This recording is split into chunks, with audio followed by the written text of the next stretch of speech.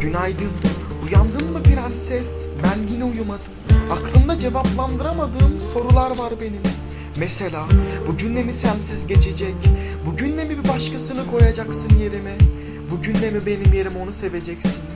Nefret mi edeceksin benden? Özlemeyecek misin beni bir daha? Bu cümle mi yüzüme vuracaksın hatalarımı? Affetmeyecek misin yani? Ne bu inat? Hani seviyordun? Hani özlüyordun prenses? En önemlisi söz vermiştin bana. Bırakmayacağım demiştin. Sen hep tutacaktın ellerimi. Bu da mı yalandı?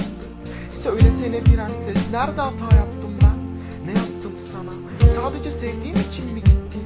Sadece sevdiğim için mi çekiyorum bu derdi? Hep derdim ya hiç unutmam. Seni seviyorum diye peki. Satsak kaç para eder şimdi sevgi? Ya da toplasak etrafındaki tüm erkekleri bir ben eder mi?